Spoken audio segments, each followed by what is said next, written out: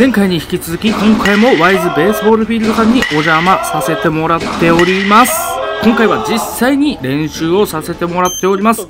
そしていきなりスタッフの方のグラブ紹介が本編をどうぞ。はいどうもシューティングです、えー、本日はですね、えー、前回に引き続き、えー、ワイズベースボールアカデミーさんに来ております、えー、今回も、え、使わせていただくんですけどもえ前回は、えー、と施設の紹介をしたんですけど今回は、え、施設を使って野球をしたいと思います。今日のキャッチボールの相手なんですけどあのスタッフの方ですね。川越東出身でね内野手されてた方でレギュラーの方ですごくうまいのと何やらこう結構マニアックななんか野球道具を持ってるというか。ちょっと俺が気になるなそれは。なんかちょっとこうね両平がちょっと気になっちゃうようなグローブを持ってるような感じがしたので後でちょっと聞いてみたいと思います。はいそれではいきます。まさかそのグローブはマイグローですか？そうです。なんかすごい浅くないですかね？あの自分いつも当てて当て取りなんで。あっとり派なんですか？ちょっとグロちょっといいですか、グローブこれええっとそれはプロプロエッそうですね。ですよね。はい。であー出た。メッシュメッシュ。はい。これメッシなんかちょっとかっこよくて。SSK のメッシュちょっと特殊ですよね。そうですね。でラベルがシルバーラベル。あこれはもう自分で変えちゃいました。あそうなんですね。オリジナルで。はい。でウェブが、えー、中村拓也選手と同じタイプあそうです。のウェブ十字です。はいはい、はい。結論これめっちゃかっこいい。オーダーみたいな感じです多分オーダーでウェブはおかわりくんですあそうですそうです。打順打順とかは何番打ってたんですか？自分たちのやったら2番とか。お2番打ってたんですか？自分は打ちたいタイプ。打ちたいタイプだった。あまあ普通にバントとかもありましたけど。ということは僕も今軟式2番なんですよ。はい。同じってことですよね。あ打ちたいタイプ。打ちたいタイプ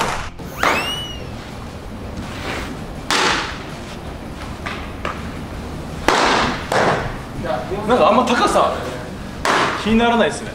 ちょっとフライとかはあれですけど。ああそうですよね。でも僕180あるんですけど伸ばしても全然届かない。んで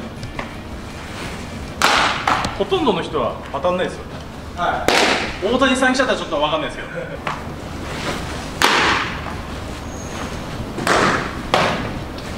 大丈夫ですかね？ありがとうございます。ありがとうございますありがとうございますちょっとグローブ見えたね。うまい人のグローブ。えめっちゃ浅いんですか？いやそうですね。けど自分現役の頃はこっちのグローブじゃなくて。違うやつですか？あの IP セレクトアイトー。統合モデルだ。あそうですこれそうです。統合モデルです。なぜ見ていいのか分かんない。すごいですね。あの窓が狭くて、そうです。えー薬ウィリングが入あってそうですてそうです。すごい押しやすくてめっちゃすごい。親指が開く。あそうですいやもう本当に浅いグローブで。マニアックマジすごいグローブ好きトークしたらいいじゃない。マジすキップレザーじゃないですか。ごいあそうですそうです。いや作れる作れる作れる作れる。っすクイズ出してもいいねクイズ。スラッガーの型番ぐらいだったら分かるかもしれない。スラッガー好きなんですね。いやありがとうございました。ありがとうございます。じゃあちょっとこれからバッティング練習の方をはいお願いします。お願いします100ぐらいです。今100ぐらい。もうちょっと上げます。これ110までいけて。110までいきます今度140いきます。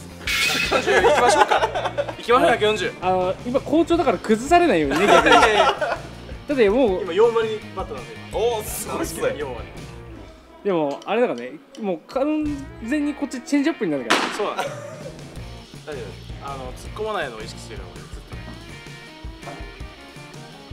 れでちょっとそうここで。皆さっちが高さ。でアーム式なんでやっぱちょっとばあの上下にバレるんですけども、実践的ですなので。わかりました。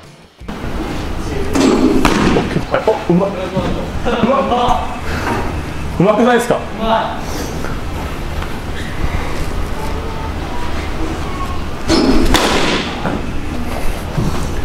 結構速く思ってる速いな。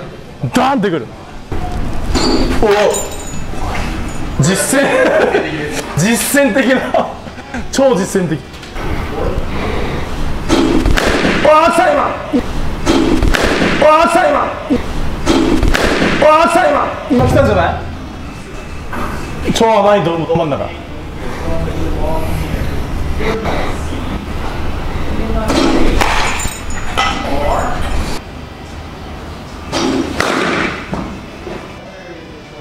辛いよ。辛いよ。いやナイスバッティングだけどピッチャー的に強いとか言ってるけど相手マシンだからね。あマシンマシンだったピッチャーが苦しんだ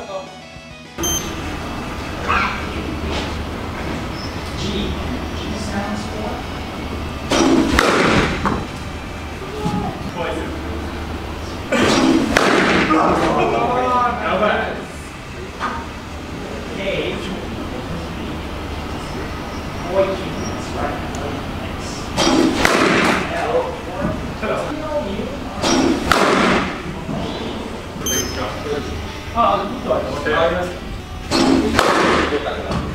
いいよ。スイングオッケースイングオッケーさすがようわやばいやばいおい怖い怖い俺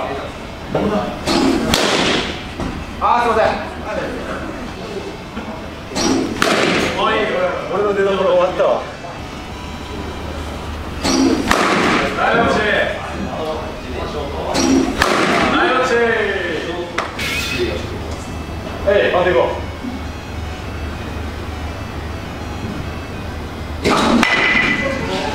殺すなよ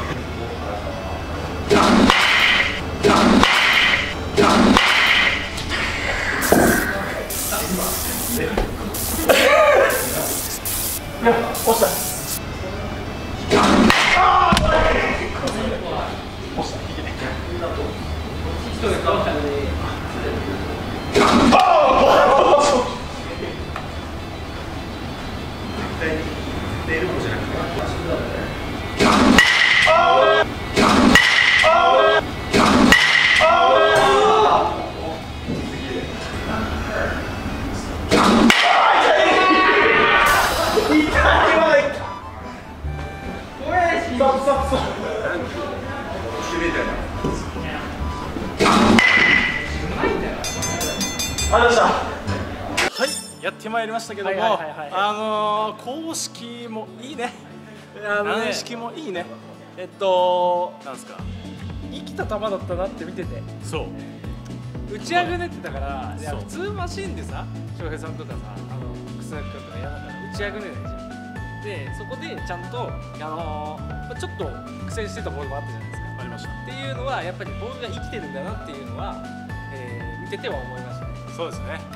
どの年代でも、あのできるような巨職だったし、やっぱ室内っていうので環境もいいし、ね、こんなところでできるって、やっぱ昔は室内練習場でできるとこなかったから、正直。室内練習場で練習するっていうのはもう贅沢だった。こういう環境でできる場所が多いですし、本当にここはめちゃめちゃいいなと思いました。はい。前回は施設紹介してもらって、で今回は、えーバッティングマシンを使ってやってたんですけど、次はお待ちかねラプソードはい。を、えー使わせていただいて、しかもラプソード3.0という最新のやつこれをね使わせていただいてあの撮影しようかなと思いますので、次回の動画もお楽しみということで、はい、はい。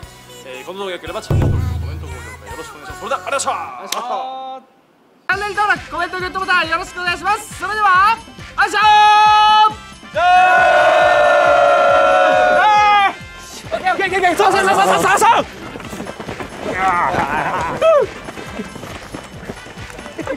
翔平 TV2022 年 T シャツ販売1万人突破皆さん本当にありがとうございますこれ着て役やろうぜ